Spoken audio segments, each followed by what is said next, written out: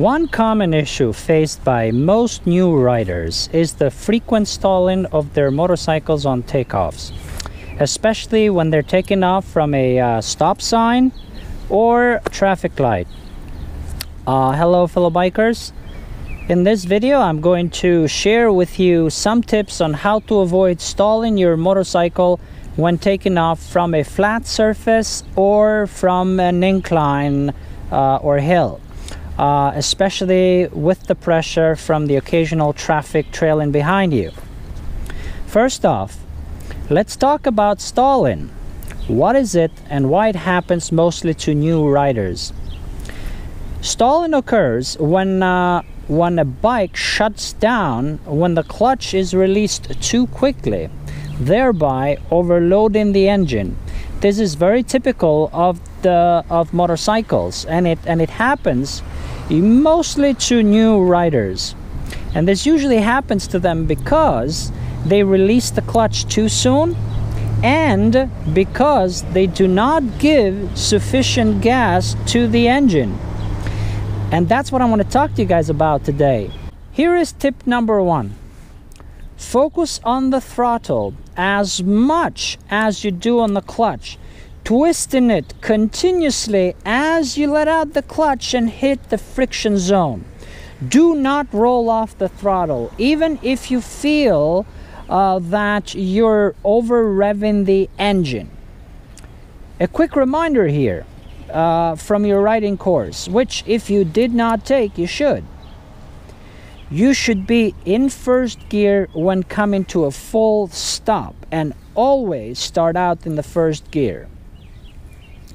As new riders, we are taught to focus almost entirely on the clutch and the friction zone. And not as much emphasis is placed on the throttle, which is why we end up stalling our bikes. As a matter of fact, in the course, they also will tell you, in any safety riding course, uh, they'll tell you that you can also get the bike moving without rolling on the throttle. When I first started riding, I stalled the bike quite often on takeoffs because when I rolled on the throttle, as I released the clutch, the loud noise of the engine would scare me, making me think that I was doing something wrong. I was damaging the bike, and I uh, and, and and and that would cause me to roll off the the throttle, which was actually my mistake. Let me show you.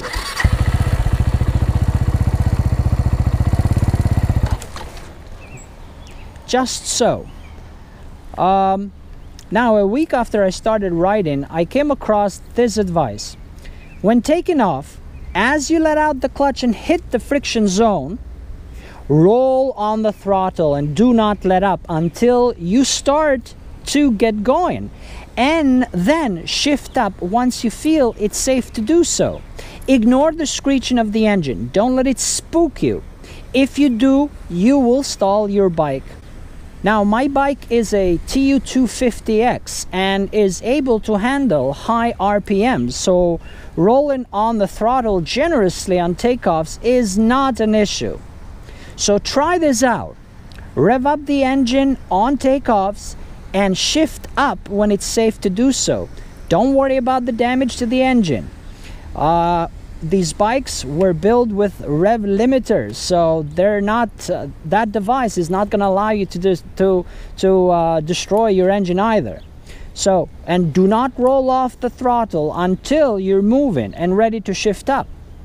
Now practice this on an empty lot uh, on an empty parking lot uh, first to see if it works now I'm going to show you how to use this technique when taking off from a level or flat surface and when taking off from an incline or hill.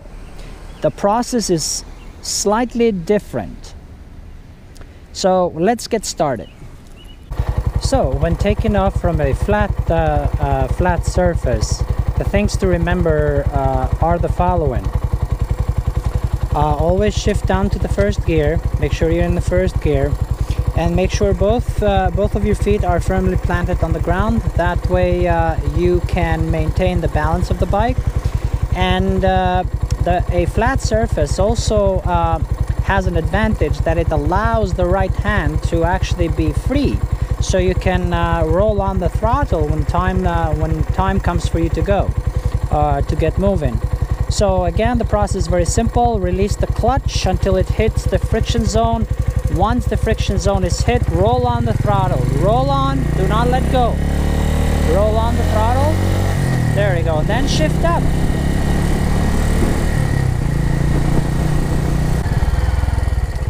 Here's another example of uh, taking off from a flat surface. Again, make sure that both your feet are planted on the ground and uh, your clutch is uh, squeezed in. Uh, your right hand is free and when the time comes to go, simply release, slowly release the clutch but also apply the throttle. Roll on the throttle, roll on. Do not let go, do not let go. There we go. When it's safe to shift, shift up. Very simple and then shift up again this way you can uh, get moving without fear of the car behind you um, hitting you okay?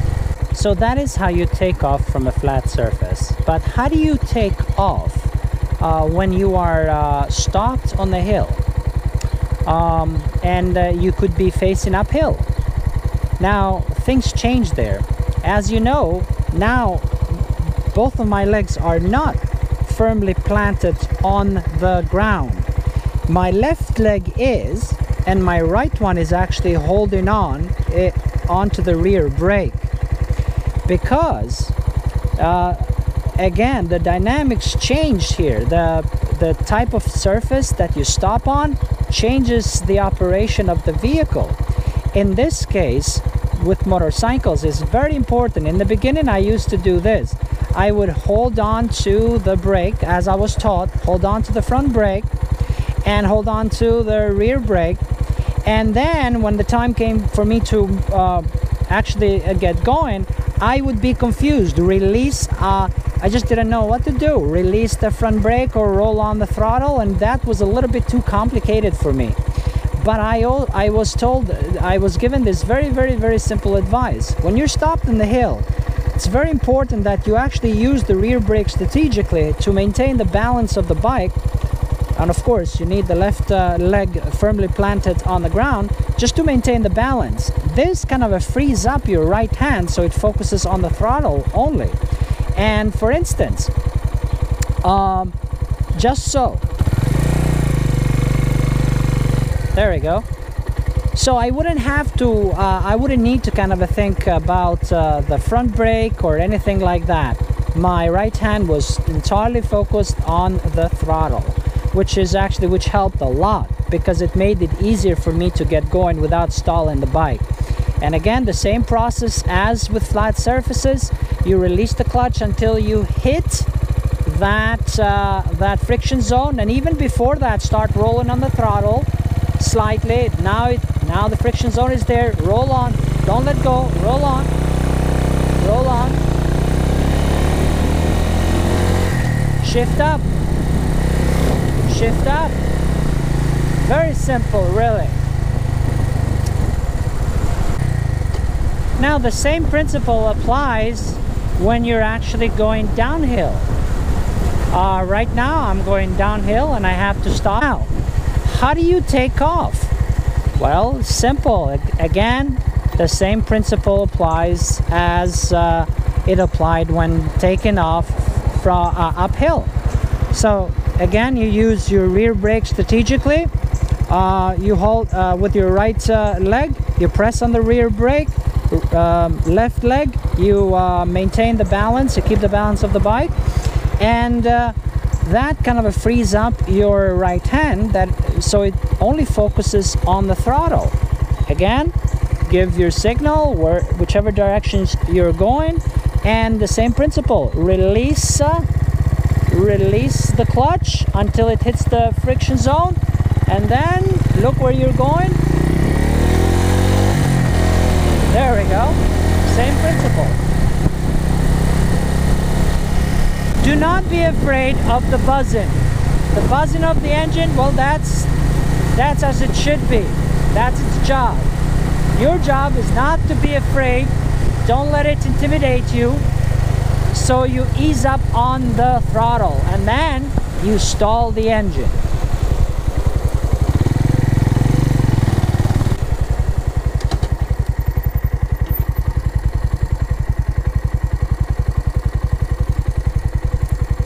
So that's all I have for you guys today. I hope that these tips uh, will be useful to you as they were to me and um, uh, try them out, try them safely and uh, let me know if they worked. Until next time, be well and uh, ride safely.